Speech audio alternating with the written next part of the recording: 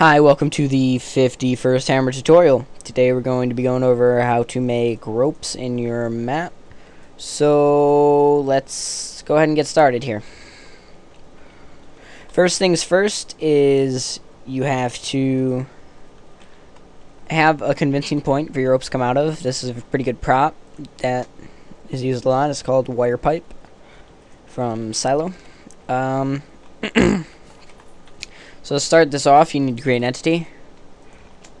And needs to be a move rope. Okay. So now, typically place your first point right there. You, you place your, your first point where you want to be. Alright. And then once you get your point in place,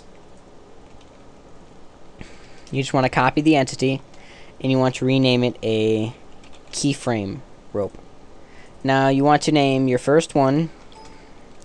I like to keep, you want to name your move rope, rope underscore, and typically people have many segments of rope in their map. So what I like to do is I like to name mine rope A, rope underscore A, and then 1. So press apply, and now you just copy this name over to the move rope and you press apply. And you will you copy it over and then you change the number at the end. Now you select the move rope and you make its next keyframe the next the next rope entity. So now you'll notice that there's a short line drawn between the two. We can edit this line and manipulate it based on how we want our rope to show in game. It can have all ropes sway a little bit from wind effects and everything. It just makes it convincing 64 is a good speed. 48 is also good. You're going to have none. The slack is something very important. The more slack you add, that that's what it's going to look like in game. That line, if you can see it. So that you definitely don't want to don't do a negative number because that trips out the editor because it's actually trying to make the rope go up. So don't do a negative number. That's bad. Um, the type, you can have it be rope, semi-ridged, or ridged. Just keep it rope. It's the easiest. Subdivision. The number of subdivisions between each rope segment. The maximum value for this is 8. Basically what it means is how choppy the rope is. It's almost like a higher quality model. 2 is a good ideal point. You don't want to go too high because then this increases increases use. I mean, resources. Barbed. This will make it look it, it almost removes anti-aliasing from it. It makes it look spiked a little bit. The width, self-explanatory. Texture scale, again, self-explanatory. Um, rope material. This is pretty. This is pretty simple.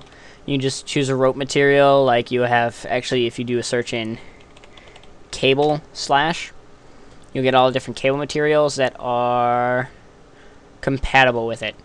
So I just I keep mine cable, cable black, works fine. Then disable wind, yes, no, your choice. And then usually you just copy the settings over to the, to the keyframe rope because it has to have, it doesn't have to have the same ones, you can mix it up. And next, you want to place your keyframe rope. I'm going to have mine look like it's going to all the street lamps. So I'm just going to put that into the pole. Just like that. Maybe up towards the top more. And now there's a really cool thing that you can do with this. This was not in the 2006 hammer, so it kind of made me and a lot of other people stray away stray away from ropes because it was just such an inconvenience. In your 2D view, hold Shift and click and drag the entity. And now choose where you want this next one to be, and then let go left click while holding Shift. This automatically tells it to add the next keyframe to the node. So it automatically adds the uh, the the new the new keyframe rope. Before you'd have to copy it, rename it, and then do the next keyframe. They also added this with uh, Path Track. It makes mapping a whole lot easier. So you can just pretty much just keep jumping around with these to your heart's content. They can go, they can go pretty much anywhere. Then I like to go back to my entry point. So, that's the whole tutorial on ropes. I'm going to compile this.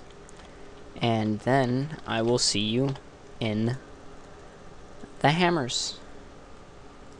Okay, so now we're in Counter-Strike. We're going to go ahead and load up our map. Okay. So we load this up. And join a team. Look at that. Some pretty cables, aren't they? And they're, they're, they're really easy to create. A lot of people... I, I used to think that they were a lot harder to create, but they're actually really simple. It's just paste special, basically. The shift drag. That's all you got to do. Go all around the map.